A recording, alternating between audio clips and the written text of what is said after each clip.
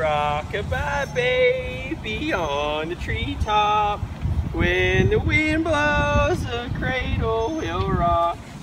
When the bough breaks. Gil! Gil, what are you doing?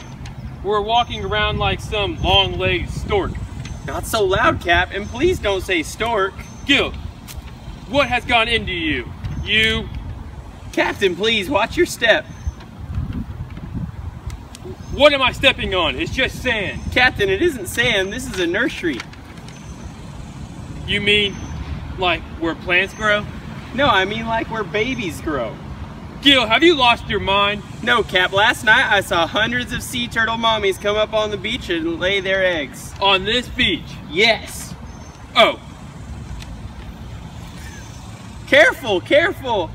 How many eggs are there? Hundreds, maybe thousands, all buried under the sand to keep them safe. Wow, their moms protect them the same way God protects us. Well, I like to think God protects us a little bit better. God doesn't leave us to fend for ourselves alone, but yeah, God looks out for us and keeps us safe, just like these little ones. We gotta get off this beach. Gil, come on. Yes, Cap. These little guys deserve a chance to live. Yes, they do. And when they're full grown, they'll taste amazing with some lemon butter. No, sir, don't say lemon butter in front of the babies. Let's talk about sea turtles. If you've seen Finding Nemo, you might think sea turtles can live for a hundred something years and know that the babies are adorable, but there's a lot more to a sea turtle's life cycle. There are seven species of sea turtle hawksbill, olive ridley, Kemp's ridley, flatback, the enormous leatherback, loggerhead, and the green sea turtle. Each species has their own life cycle, but we'll focus on the family as a whole instead of the individuals.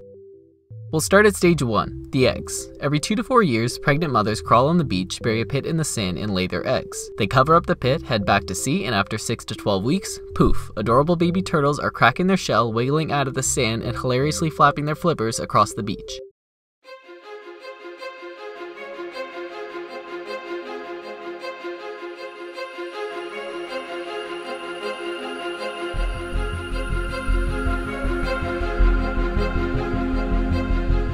That day, when evening came, he said to his disciples, Let us go over to the other side.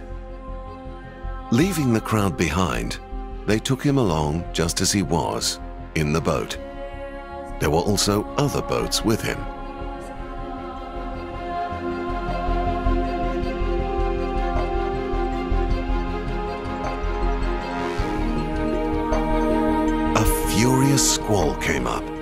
And the waves broke over the boat so that it was nearly swamped.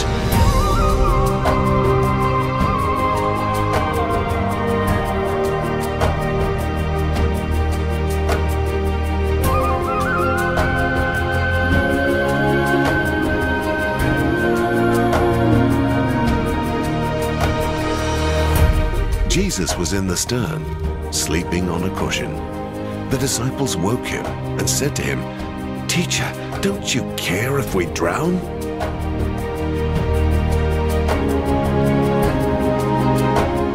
He got up, rebuked the wind, and said to the waves, Quiet, be still. Then the wind died down, and it was completely calm.